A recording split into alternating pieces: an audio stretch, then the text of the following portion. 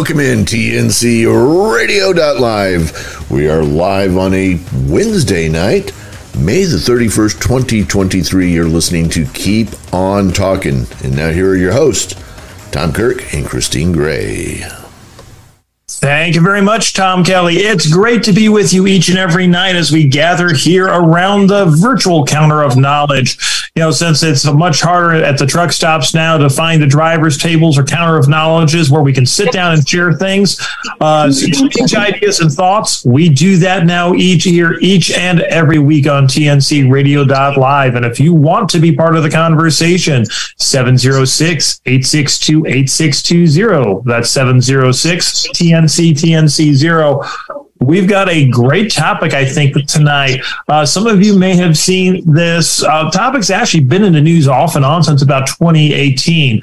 But the Patterson High School has a CDL program for their students, as well as an adult education program to help people get their CDL. So we're going to talk a little bit about 18 year olds in the trucking industry. Is it a good idea?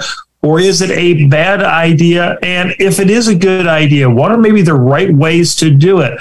But before we do that, I need to ask how my wonderful co-host, a beautiful and talented Miss Christine Gray's doing tonight. Absolutely, absolutely. So how is uh how's everybody doing tonight? It's an awesome topic.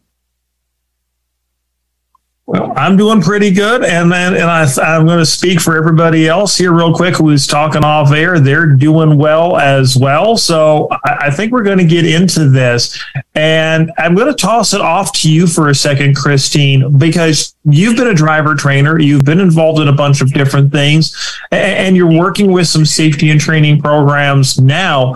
What are your thoughts? Should 18? Let's just start off with a simple question. We'll kind of go to everybody should 18 year olds be driving a big rig? Let, let's just start off real simple. Okay, so you know what? That's a really great question. I think because it pertains to when is training when you when are you a valid driver, right? When are you a beginning driver? We all start somewhere. Now, the thing about taking a fresh student, which is what, you know, I had real problems when I first started training, taking guys straight out of, you know, adults, straight out of college and then we came across this October 16th of 2021 about a high school, you know, in California that has truck driver training. Um, I think that if you take them young enough and you can give them the right skills, they'll be better drivers overall in the future. Because we actually integrate what we do while we're driving a truck into our our own vehicles you know, a, a, in a four wheeler. So I think that the benefit definitely outweighs the negatives if it's done right. And, and I think like so many things in trucking, that's the key if it's done right. And we're as we go through the show, we're going to cover more about Patterson High School in California. Uh, I'm not going to say they were the first high school to do this, but they're the one who's maybe developed perhaps one of the best programs out there, if not the best. And it serves as a model for a lot of other schools and arguably maybe even for some adult programs as well. And I've got kind of a specific order I'm, I'm going to do things in here tonight when I first go to people here. Um, Dutch, I'm going to go to you next. Do you think 18 year olds uh, should be driving truck? Depends on where they're driving. Depends if it's if they start locally, I think you go for it because I mean then they can learn. By the time they're like 18, 19, like 20, let's say 21, then yeah, they can go up over the road. But my thing is, okay, let's say for instance, getting your license in, in the United States, 16. But if you go across the ocean to where my family's from, 18 it to be to get your regular license. I never understood why that was, but now I do because they think people are better and apt to driving on the roads at 18 than they are at 16, which my parents, I got my license at 16. I wait, they took my license away. They would not let me drive unless I was driving to work with them or they were with me or whatever. But until I was 18, then they gave me my license back. So, in hindsight, yes, it might be pretty good at driving at 18, but are there things that they still need to learn? Yes. Are there things that they need to? I don't know. I mean, there's certain situations I don't think they'll be able to. What's the word I'm looking for? To actually eh, uh, handle is that the word you're thinking of, or handle? Not really handle, but like, okay, for instance, a sudden braking situation, are they going to be able to know, okay, where do I go? Do I oh. just slam into the people in front of me, or do I go to the left, to the right? Yeah, that does take training, but it also takes being out in common the world. Sense. Um, exactly, common sense. Exactly. Are they going to have that when they're at the age of 19, 18? Well, I think yes.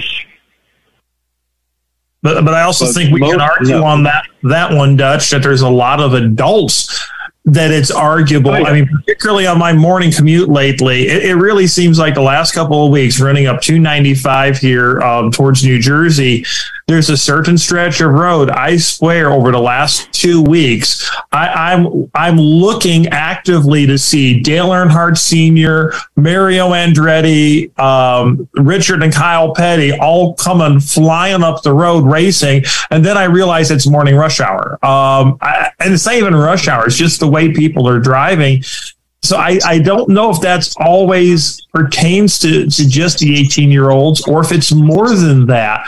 Um, I'm going to go, come to Bruce here real quick. Hey, Bruce, what are your thoughts? Do you think 18 year olds should be should be driving CDL or not? Well, they already can right now. Think about it. Get a CDL at 18, long as you run intra-state. Never leave the state. So it, I think it all, all depends on the individual. And, and I think there's a lot of truth to that. Go ahead. Sorry. It depends on the individual because with the society now and the way the kids are growing up and their mentality, there's still some good kids out here that would really take a graph and do it right. Some might just look at it as a job and a paycheck, and that's not what we need out here. Someone's going to be understand the industry and do it the right way. And if you're trained the right way, then it should work out. Yep. You know? And I definitely agree with that. And there's, I don't think anything necessarily wrong with looking at it as a job, but you also have to realize if you're going to go into it and looking at it as a job, there's two ways to handle it: the right way or the wrong wrong way. And I think it's true with almost any job. And if you're not going to take it seriously, yeah, it, it's going to be a real problem.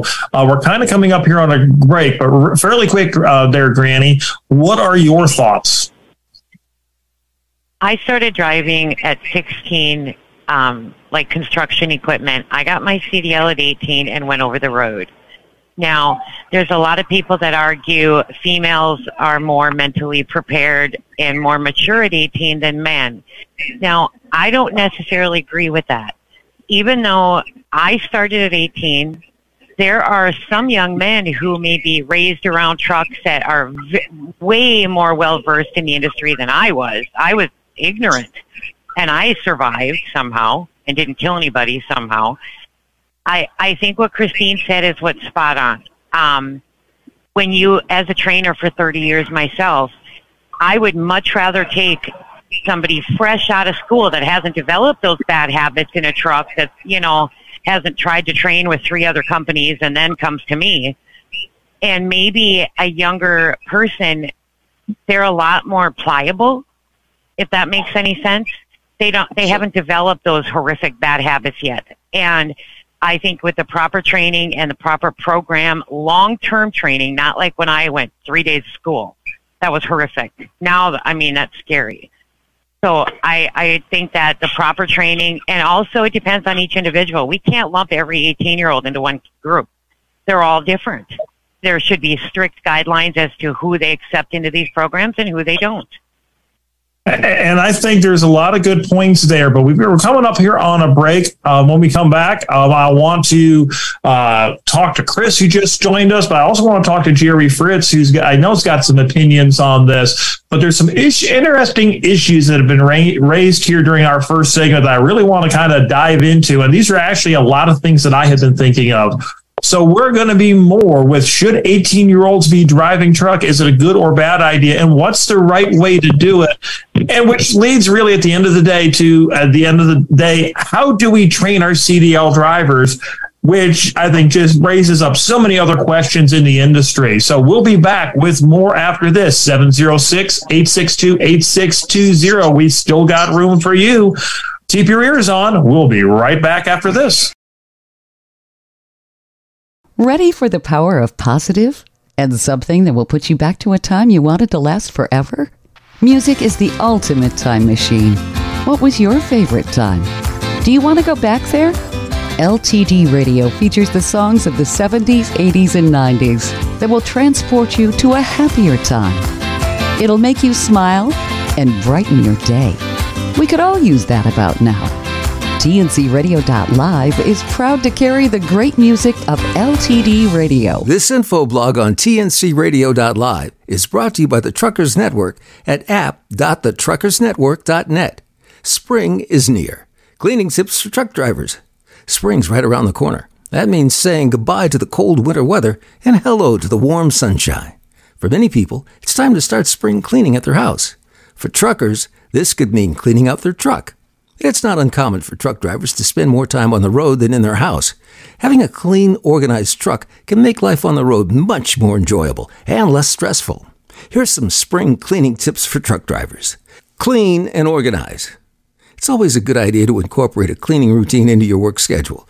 After all, your truck reflects who you are as a driver. A clean and well organized truck can take a lot of stress out of your job as being a truck driver. It also makes you more prepared in the event of a DOT inspection. Take some time this spring to clean out and organize your truck. Throw away the trash, donate or get rid of things that are not a part of your daily use. Go through your paperwork and organize it. Finally, wipe down the inside of your truck. Get a wet cloth and wipe down your dash, air vents, and other areas you feel need cleaning. After you wipe everything down, pull out your vacuum and start vacuuming the carpet's floor mats and vents. Wash and wax. The winter months can be hard on the exterior of a truck. All the snow and de-icing salts can make your truck look pretty rough. Start washing your truck from the top and work your way down. Use microfiber cloths to clean your windows and windshields. Maintenance. Failing to stay up to date on your truck's maintenance means you're less likely to spot a problem before it occurs. This can end up costing you a lot of money and time off from work. Not only do you save money and time by regularly performing maintenance on your truck, but you're also more likely to pass a roadside inspection. The spring season is a great time to perform a maintenance check on your truck. Check fluid levels and make sure your lights and windshield wipers are working. Snow and ice take a toll on brakes and tires. The transition from cold to warm weather can affect your tire pressure. Check your brakes and make sure they're not worn out. Be sure to check out the blog, Six Easy Steps for Keeping Your Semi Truck Interior Clean from the Truckers Network at app.thetruckersnetwork.net.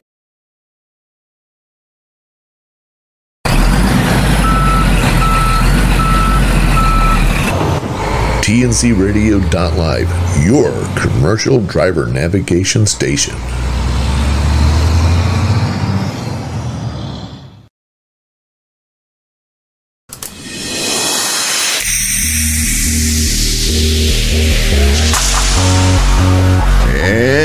Welcome back in TNC Radio.live. This is Keep On Talking. You're your host, Tom and Christine. Hey, thank you very much, Tom. It is good to be back, Christine. I'm actually going to throw it over to you for for a second. Um, I mean, we've had some interesting things brought up here. I mean, what are your some of your thoughts that has been brought up here as we're talking about 18 year olds? Uh, I know you've been done some training. How old were you when you first started driving in the industry? I don't remember that. I know you've been training for a long time. I was 26. I was 20, 26 when I got my license, and I started driving or training. I don't know, uh, my first driver. I want to say in 06. And then, you know, I didn't, as an owner operator, I had to train them to drive my truck. But otherwise, after that, I didn't start training full time until now, which was about seven years ago now. And I mean, I was with this company for like three months before I was told, hey, we, you know, we need you to train. So I was really adamant about getting in and handing my life over to a driver fresh with a CDL. I mean, we all we all start somewhere. Don't get me wrong, but starting on my own and starting with you know someone else in control of my life that takes a lot of courage. If that's the right word to let go. A lot of uh, who you are as a human being to let go of that and put your hands in someone else. But again, you know, I have a specific frame I built that they use now. So I think that I, I, want to see, I'd like to see more of them. And, you know, somebody said, you know, 18 year olds don't have the, uh, uh, I think Granny said something about 18 year olds, you know, being young and, and the choices that we make. Um, at 18, for me, I want you to think about those. You know, for, for me, when I turn around and I look at an 18 year old who wants to get behind the wheel of the truck, even though, like, like, you know, Tom had said, intrastate or interstate, as a, you know, these guys go off to war and fight for my freedom. I should yeah. be able to train them. I mean, correct? Yeah, I should be able to train true. them. That's so, so true. So if I, if if they're willing to put their lives on the line for me, I need to be able to put my life on the line for them. And I get that. But it took a long time for me to come to terms with that. So again, I got to give these teachers in these high schools props. But I, if, if you read the articles, though, they are 18, 17, 18 year olds, and they graduate with that license. It's not something that's handed to them. So, and as, and the one thing I want to clarify too on that one, Christine, uh, the way they do it is it's more of a defensive driving program where you, they get their learner's permit. They mm-hmm. actually mm-hmm. go to another school or not another school, but they also work with another trucking company that helps give them the experience, additional training above and beyond what they did in school. And the program that they do in school, I've looked at parts of it. It is. It, I wish more CDL schools use part uh, parts, if not all, this program. It is pretty rigorous, and I think we would see a better grade of student coming out if they did this.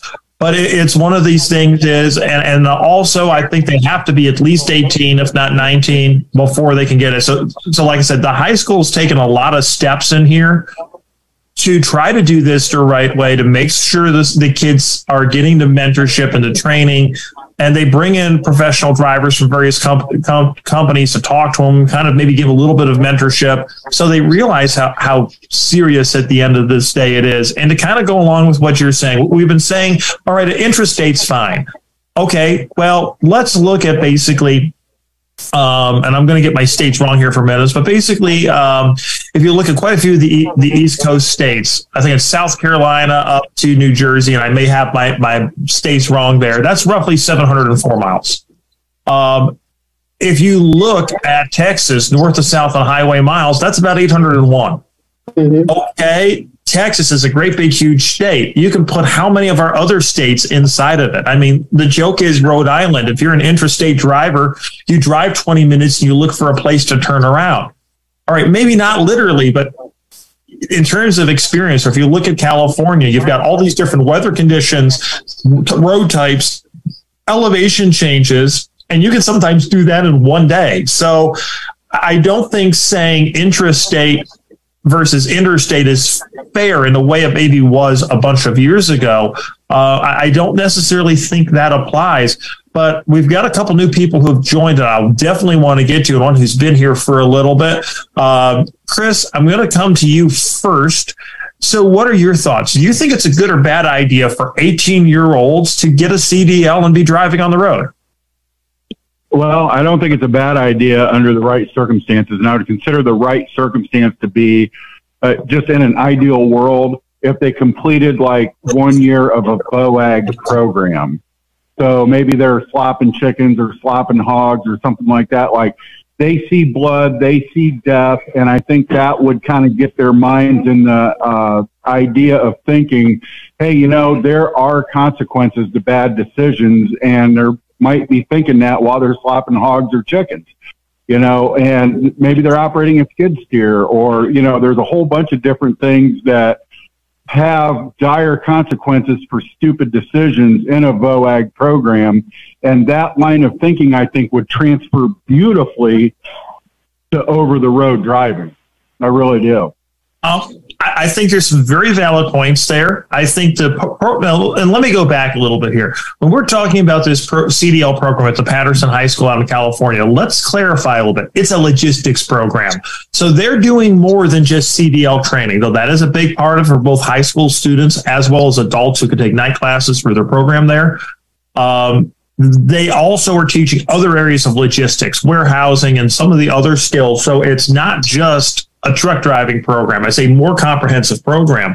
But one of the other things that they do there that I also think is important is they're using some of these, uh, um, and you're seeing more high schools and various other places now. They're glasses that they put on you. They can put you in a golf cart and have you drive this course, but it basically makes it like you're drunk or shows what distracted driving would be like if you're trying to use your cell phone and other things. So they can simulate in a way that's a little more meaningful. Hey, if you get drunk or you do this, these are what consequences could be. But then they have these students go ahead and read some letters from families that have been impacted by this. So hopefully it does exactly what you're saying, and, Chris, and it's maybe a different approach than what you're talking about. But I know one of the things for me when I was in defensive driving in high school, they had one of our state troopers come in and talk about some of these accidents and showed some pretty graphic pictures that to this day I'm kind of going, you know, I really don't want to be that person. So I, I, think there is some great ways to handle some of that stuff. Uh, Jerry, I wanted to come to you on this one. Um, you're one of those ones who started driving at an early age. So I think you're a very fair person to ask. Do you think 18 year olds should be driving truck? Uh, I'd like to say generally, yes. In fact, I want to put this out here real quick. The sooner we can get them behind a wheel under the right structure and supervision, provided they're mm-hmm. qualified, they will more quickly become a more skilled driver than a 45 year old coming new in the business that's been driving a car for 30 years, like Christine said. They get their habits and they aren't going to break them. So if we could get them 17, 18 years old, almost have behind the wheel of a truck before they get behind the wheel of a car. I did. In fact, I was brought home from the hospital as a newborn baby in 1946, my dad's cattle truck. See farm machinery all life. Let me, here's something else I think we're missing out on. These programs, I'm just thinking, they should be like uh, uh, when you go into these skills. In other words, you become the bottom rung of the skill of a, of a certain. Um, uh, I can't think of the name of them. But anyway, what I what I want to get at here is the carriers who they would have the opportunity to maybe hire on to and to develop more the carriers need to be qualified. And almost all this truck driver training school garbage, the carrier is the real problem. A carrier should have to apply and qualify. The first thing that should be looked at, what is your turnover rate at your employer? Mm-hmm. Now, if you've got an employer with a 100% turnover rate per year, you don't want to know somebody new. What is your safety ratings and things like that? And the carrier should have to reapply for that annually too. So all these things are looked at before you put a, a, a person that would make a great driver and your this carrier over here is going to use him and abuse him, screw him, send him on down the road. And, now we've lost everything and I'm going to jump in here real quick because we're coming up on a break, Jerry. First of all, if you want to participate in this conversation, we still have room for you 706 862 8620. We're talking about 18 year olds, and is it a good idea for them behind, behind the wheel? And we're going to be going diving a little bit more into this uh, Patterson High School logistics program on, on truck driving uh, here, and and I think on some other great issues that Jerry just raised about turnover and training. One more question, Jerry, that I think needs to be asked is, how many years of driving does your trainers have? before they're start training? And I, I, think that's another important question. But we're going to be getting more into some of those details here after the break. Stay tuned. We'll be right back after this. Keep your ears on.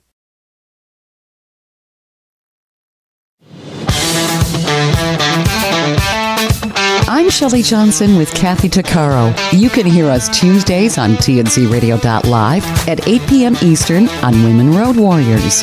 And don't miss Steve Summers' Overnight Drive right here on TNCRadio.live, weeknights midnight to 5 a.m. Eastern. Brought to you by Hot Shot Secret.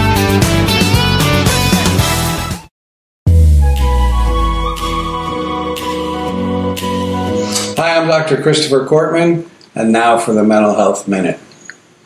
I was asked this week to speak to a group on bullying. And this is a group of kids from a lower socioeconomic status part of town. And I want to ask them, what is bullying? Where does bullying come from? How does it happen? Do you bully? Do you get bullied? How does this work? Well, we have a lot of research on bullying by now. And one of the things we understand is that people who are bullied often bully themselves. And we know that the bully gets hurt, according to research, and so does the one who's bullied, and so do the bystanders. Everyone who witnesses a bullying event ends up paying a price for it. So, if you hang around me, you hear that behavior is purposeful. Everything we do, we get something from, or we wouldn't do it. So, why do people bully? Well, it's simple. Very often we bully because we don't feel good about self. And we feel that by putting somebody else down, it helps to elevate ourselves. It makes me feel better about me by subjugating somebody else. So, what do we do with that? As soon as we understand that a child has issues with that, we want to interfere. We want to intercede because we understand that they have some deep rooted issues there. They don't feel good about self. And we want to help them to promote self in other ways. According to the great psychologist Dr. Sid Simon, when a person likes themselves, two things are true. Number one, they don't do things to hurt themselves. And number two, they don't do things to hurt other people.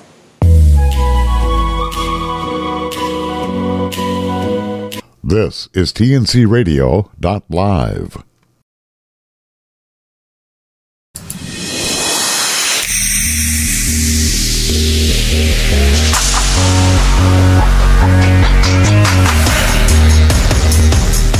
And welcome back into TNC Radio Live.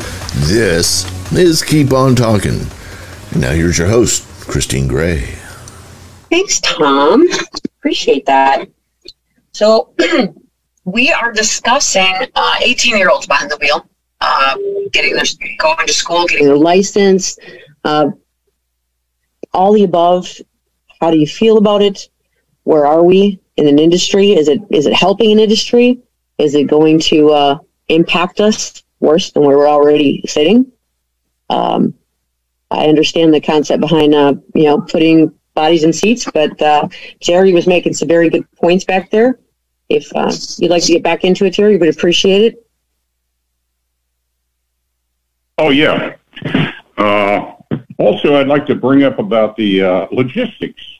That's got me excited. That's in a way, you know, Tom, people say, well, Jerry knows a lot of stuff. Well, it's learn a lot of stuff, but experience. I actually did this.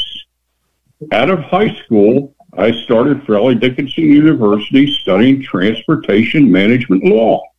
At the same time, I went to work in a warehouse where somehow I ended up taking over the shipping in the warehouse operation. So eventually, I go on the road as tractor trailer driver full time. But that brought a broad perspective into my world and gave me good depth too. that I would say 90% of drivers, unfortunately, didn't get to experience. I can see inside the warehouse. I can see inside the shipper operation. I fully understand, well, mostly fully understand a lot more transportation law and even DOT rules as a result of that broad experience, which you would call logistics today. Jerry, do you do you think that logistics have changed from you know 30 40 years ago to today as far as logistics management goes and trying to put bodies Oh, in yeah. seats you know it's a lot different than what it used to be you know you're trying to put bodies in seats or you're actually trying to benefit the industry I'll say that again.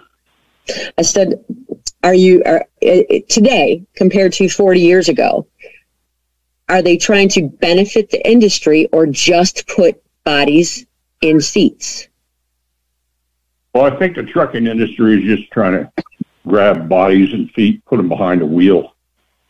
Uh, logistics is so broad in its definition. It's still basically shipping and receiving, but there's more of a system to it now. Now you can see how the more interconnection, what hooks on here, the total supply chain. That comes down to inventory management, risk management, internal flow, external flow. And actually, I didn't even know I was learning at that time, but I was. And see, in addition to that, I had the college experience of transportation management and business. So I knew how to go into, you know, uh, uh, I even understood, I didn't know in the beginning how you routed freight and why you routed freight. A lot of people didn't know that about ICC law. I didn't. But, but somehow or other, and that and that circle there gave me the ability to bring much more perspective into the business, which is good for the shipper, the receiver, and the carriers and the drivers, if they all want to kind of coordinate it. But in a way, they don't because they, each one of those groups, at least the business groups, like a lot of like a lot of uh, carriers or drivers will say, "Well, why don't the shippers do this and do this?" I said, "Wait a minute." Do you realize that that traffic manager over there just had to pull the freight rate down to a dollar twenty a mile? It's fundamentally just keeping his job because he has a competitor that just got the freight rate down to a dollar ten a mile. Right. So the boss, the CEO, comes in one day and says, "Hey, how come we're paying a dollar twenty a mile for freight, and that guy down the road I just had lunch with is only paying a dollar ten? So I said to him, "Well, I want to keep the drivers comfortable. Get out my door. You're you're here to work for me. You're here to lower my cost as much as possible, so the guy down the street doesn't put me out of put me out of business." Right. It isn't all just picking on truck drivers. Yeah. But one of the things I want to jump in here real quick because since I moved into the office, I'm having a maybe, and I agree with you on so many things, Jerry, that it is a race to the bottom of the bottom line. But what I'm starting to see and realize that some companies and conversations, what's starting to matter is service. And what I mean by service is they want drivers that are going to be on time, going to be polite, going to be well dressed, going to treat the customers decently, etc. And if you want to get that employee, you're going to have to either pay more, offer better working conditions, better home time, or gas, all of the above. Um, and I think the wiser companies are starting to realize that, which actually brings up some kind of um, interesting statistics here, real quick. Is when we look at um, the average age of truck drivers right now, uh, OTR drivers is roughly 46 years old compared to 42 for all occupations. The average age of private fleet drivers are 57. So the drivers that drive for a lot of these more elite companies, whether it's your Perdue's, your Walmart's, your um, or or some of your smaller specialty carriers, their their average age is 57, and in some cases maybe even a little higher. Um, and the drivers who are in training to become full blown CDL drivers um, are 35. And, and here's where I think, as an as an industry average, and here's one of the things that I think is interesting that we have a problem with. We keep, keep hearing people use the term entry level driving. And one of the things I've realized is that doesn't mean the same thing to everybody. You talk to one set of groups, entry level training to them means the process to get their CDL. That's entry level training. Then they start their job someplace. And us as drivers realize there's additional training once they get their CDL. So when we're talking entry level training, I've had a tendency over the years to mean that as wait a second, that's the training. You have your CDL, you get your first trucking job, or you're put it with a trainer, you're getting additional training. To me, that's entry level training. And when you're talking to the politicians, the legislators, the regulators, entry level training to them is getting that CDL. So that's one of our biggest problems is nobody is consistent across the board with how this terminology is used. So I think that's one of the reasons why we as drivers get a little frustrated. Um, Bruce, we haven't heard from you in a few minutes. I'm going to kind of come to you here. You know, what are your thoughts? Do you think one of these problems here is, you know, obviously we got turnover, the, the, all the other issues have been brought up, but do you think maybe part of the problem is there is confusion as to what is entry level training? Well, there's there's just no uh, you know there, there, there's no universal definitions. That's for sure.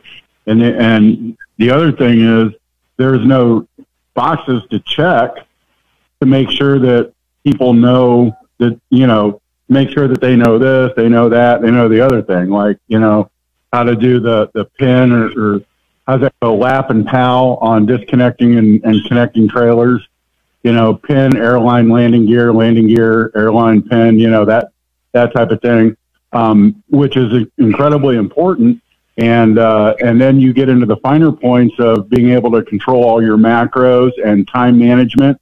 Because if you don't have a good sense of time management, you're not going to make any money out there. And if you're not making money, you're going to get depressed. And if you get depressed, it's like that commercial that you've seen on TV where it's, it's a, it's a domino effect, you know, yep. of bad things that happen. Well, one of the things I'm going to jump in there real quick before we go back to Bruce there, Chris, is with the new entry level dri- driver training program or motor, the, the um, Office of Motor Carriers Model Curriculum, w- whatever term you want to use to that, or the guidelines from the Professional Truck Driving Institute, these entry level training or CDL obtaining programs are now supposed to be more or less structured with how they do the classroom, with how they do the labs and all this other stuff. And theoretically, there is supposed to be a checklist where everything is being done, if not the exact same way, very similarly across the board. And you have to basically, as a school, get accredited to do this. Hey, Bruce, we've got just a minute or so here before a break. I want to give you a shot. What are some of your thoughts on this? If you look at it and they got to they got to crack down on the training companies. I'm not mentioning any names, but I think we all know you can't put three trainers, three trainees in one truck with one trainer. Yep. Or even two trainers. Exactly, even two my opinion on training is the truck can run for 14 hours straight. Okay? That would be like a super solo. But the driver is on the trainer is only going to drive three hours if he has to to complete a run. The other time he's going to be sitting in the jump seat and the truck will never run as a full team. That's the only way it's going to work. one on one and like that. And what I'm even going to take it a step further here. I'm going to say for the first one to two weeks that they're that once they have their CDL and they're with their first trainer at a training company, I'm going to say for that first week to two week, I'm going to say the truck shouldn't be doing more than five to 600 miles a day because that's going to give the trainer more time. Because if that trainer is trying to make some of these loads work and things like that, you know, as a super single, they're not getting the rest that they need at times or focusing on the trainee the way they should because they might be cat catnapping or things like that. So, in my opinion, that first one to two weeks, let's cap it off at let's say you know 10 hours of driving a day so they have plenty of time to find parking if they do have to maybe go a little closer to that 11 you know let's say it's 600 miles a day maximum. You know is that going to be popular with some people and some companies? No but i'm going to throw out one even more controversial idea. If you're a training company you cannot own or be directly involved in a cdl school Oh, I just threw gasoline on the fire. But with that, we've got to take a short break before we come to the top of the hour. We'll be back with more right after this. Keep your ears on. Ready for a music break? Did you know that you can use the TNC Radio.live app to hear the best in traditional country? Traditional country, you know, the good stuff from the 50s and 60s and on. Traditional country is more than a time period. It's a style and approach to music that we cherish. We have an incredible collection of songs that define country music and also sprinkle in some Western music, you know, cowboy music, bluegrass, Americana, and country gospel. Our TRUSA president and country Western music icon, Rex Allen Jr., also hosts an hour of music and memories. At TRUSA, we have a heart for the road and the heritage of country music. Wherever you roam, we hope you'll take us with you. Enjoy the ride on Truckers Radio USA. To listen to TRUSA Radio on the TNCRadio.live app, just click on the music button and then TRUSA. This blog is brought to you by the Truckers Network at app.thetruckersnetwork.net. The dark side of the long haul trucker lifestyle. A trucker's lifestyle can be a gloomy place at times. Long days, stressful work environments, and loneliness have major effects on a driver's life. The dark side of the long haul trucker's lifestyle is often overlooked and not addressed. As a result, many drivers suffer from mental and physical health problems. Before entering the trucking industry, long haul truck drivers need to be aware of the good and bad that comes with this lifestyle. It's difficult to stay healthy. Being in good health is a rare thing for long haul truck drivers. Life on the road doesn't give drivers many opportunities to live a healthy lifestyle. When you spend the majority of your trucking career on the go, your food options are limited. Although taking an exit to get McDonald's may seem like an easy solution or the easiest option, eating fast food for every meal for weeks at a time can cause serious health issues. Obesity is one of the most common health issues in truckers. If you don't watch your diet and exercise, you could end up developing a serious health problem. Say goodbye to a regular sleep schedule. The trucking industry runs 24 7, 365, so having a regular sleep schedule is rare for long haul drivers. The loading and unloading times are often never the same. At times, a driver will deliver a load at 2 a.m. one day and 1 p.m. the next day. In addition to the inconsistent load times, drivers can make multiple deliveries a day. This creates a lot of stress on the body and leaves the driver operating on a few hours of sleep. If you're struggling with getting enough sleep and staying awake on the road, check out our blog, Five Easy Steps to Help Truckers Stay Awake While Driving. You'll feel lonely. It's not uncommon for long haul truck drivers to feel lonely while on the road. Drivers have very little face to face interactions while working on the road. While this may seem like a good thing for some drivers, it can start to develop depressive symptoms. Depression is a common side effect of trucking. To help avoid feeling depressed on the road, talk to your friends and family on the phone at least once a day. As a long haul truck driver, you can often feel like you're missing out on your loved one's life. Communicating with them daily will help you feel less lonely. It's hard on your relationships. Long haul trucking can strain your relationship with your significant other. Being away from your loved one for weeks at a time is never easy. In addition to being apart, many drivers struggle with balancing their work life and personal life. Relationships already take a lot of work, but long distance relationships take even more work. When you become a long haul truck driver, it's important to be willing to put an extra effort into your relationship. Some quick tips to having a healthy relationship as a long haul truck driver. Communicate daily. Spend as much time together as possible when you're not working. Consider therapy. Avoid arguments. Trust each other. This blog has been brought to you by the Truckers Network at app.thetruckersnetwork.net. Catch Mind Your Trucking Business Thursday at 7 p.m. Eastern with James Rogers, Jamie Irvine, and Tom Kelly. They provide expert advice about starting, operating, and growing a professional trucking business. It's Mind Your Trucking Business on TNCRadio.live.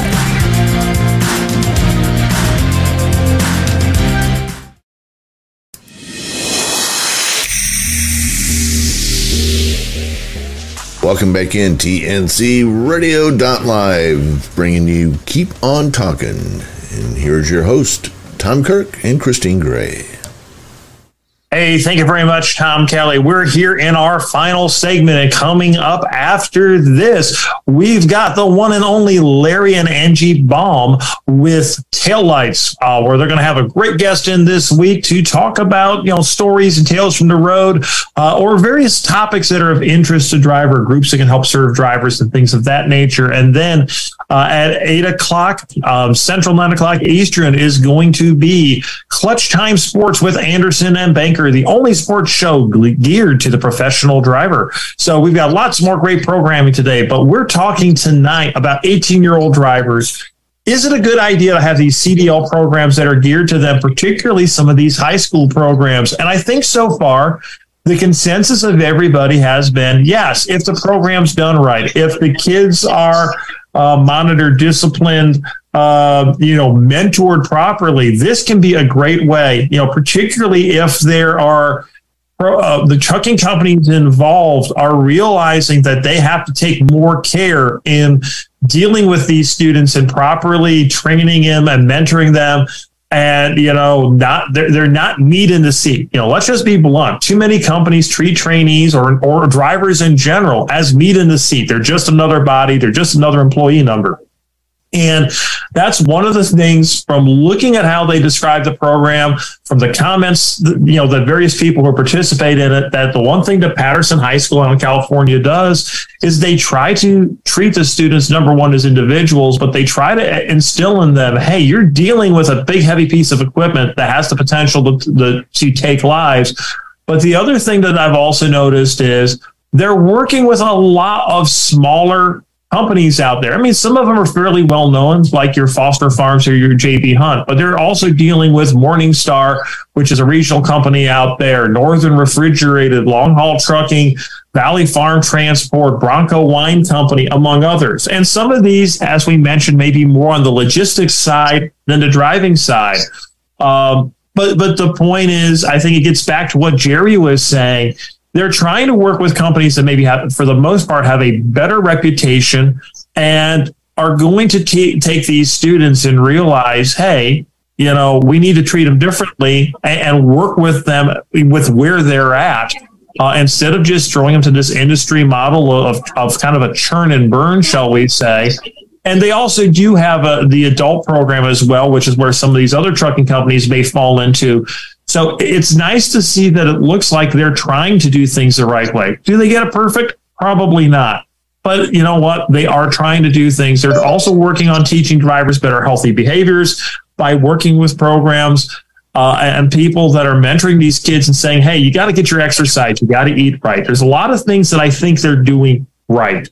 Uh, and that's something that I think is a lesson that can be learned there. Before the break, I mentioned that maybe what part one of the problems is if you're a tra- trucking training company, you should not own or have a business interest in a CDL school.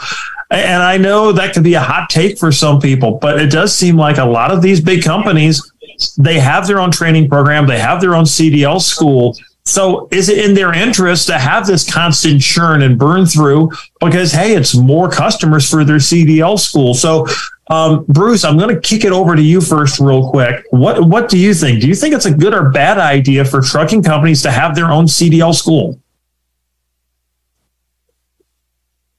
Depends. I know a couple companies that do.